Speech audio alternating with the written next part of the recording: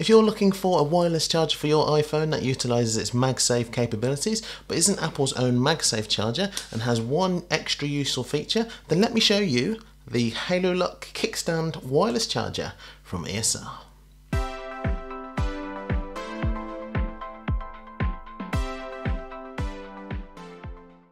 Hey, it's Andre, and today I'll be looking at the HaloLock kickstand wireless charger from ESR. And now, before you say it, you're probably asking yourself, what more could I want from a charger other than being able to conveniently charge my iPhone quickly and effortlessly? If you're not using a MagSafe charger like this one or a MagSafe compatible one like this one, then you don't know what you're missing. Being able to align the magnets on the back of your phone just to ensure that connection every time. Pop a message in the comments below if you've ever put your phone on a wireless charging pad thinking it was charging, only for you to come back later on and realising it wasn't because you didn't put it in the right position. Well, that's a thing of the past with MagSafe chargers like these two. Everything you can do with this MagSafe charger you can do on this HaloLock kickstand charger, including getting that snap connection. Obviously, not called MagSafe because that's Apple thing, but ESR's version of what essentially is the same thing, magnets on magnets, is HaloLock. I've tried and tested a lot of HaloLock products before, and that magnetic attraction between product and phone is as good, if not a bit better, with some accessories and Apple's own MagSafe charger. Now make sure you go and check out those videos after this one. Currently cheaper than the MagSafe charger, this HaloLock charger comes with a useful detachable 1.5 meter USB-C to USB-C cable, compared to the 1 meter undetachable detachable USB-C cable with the MagSafe charger.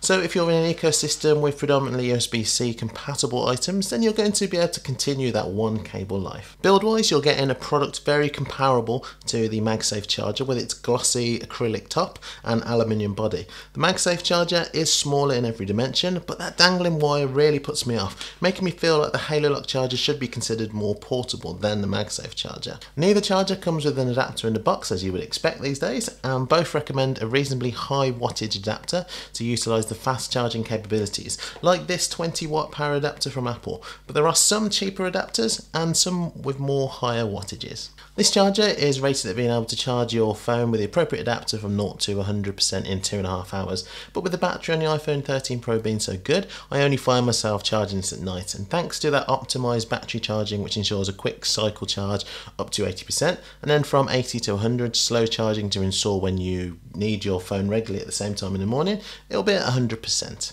While I find that most wireless chargers heat up and can be quite hot to touch, the HaloLock charger isn't prone to that, but thanks to some slightly better heat management, doesn't heat up as much as the MagSafe charger. Both are compatible with the old standard wireless charging, so if you have another non-MagSafe compatible phone, such as an older iPhone or another brand that can wirelessly charge, or even another product that can wirelessly charge, like these AirPods, then the HaloLock charger will also charge these. Where this charger stands out, can you see what I did there, is its kickstand. Not only can you charge your phone, but you can prop it up in landscape orientation at various angles depending on your preference, thanks to that firm, springy and ridgy hinge mechanism, which provides stability almost all all the way up until it's closed. You can also use it with your phone in portrait mode, but you're not going to be able to reach the various angles that you can get while in landscape. This means that you'll be able to charge your phone easily while also standing up to watch a video on your bedside table, play games, and even enjoy video calls with friends and family, all without having to use the MagSafe charger and another accessory, all built into one. And because you can detach the cable from the charger, means that you're going to be able to use it as a portable stand without the distraction of that wire hanging out at the bottom like the MagSafe charger. For those wanting a little bit of variation, in addition to the white charger, it also comes in black, pastel pink and Sierra blue to match the iPhone shade, but I do prefer this white one. I think Apple being Apple has got me used to white accessories being the norm, so any other colour just doesn't fit my aesthetic. Now I've got to say, the only thing I do prefer about the MagSafe charger compared to this is that when you do attach it to your phone, you get that MagSafe charging icon show up on the phone, as opposed to the standard connected and charging icon. But that is it. I've so far not used or tested a bad ESR product. Every product is able to do what it needs and do it very well. And with certain products, do that extra little bit that makes it better than others, all while being tailored at that budget market.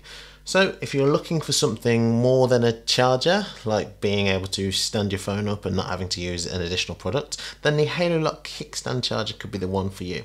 I'll put links to this and my other videos on the HaloLock products from ESR in the description below. Press the like button if you enjoyed this video and make sure to press the subscribe button to get more videos like this in the future. And also press that bell icon to get notified every time I release a new video. Thanks for watching, I'll see you on the next one.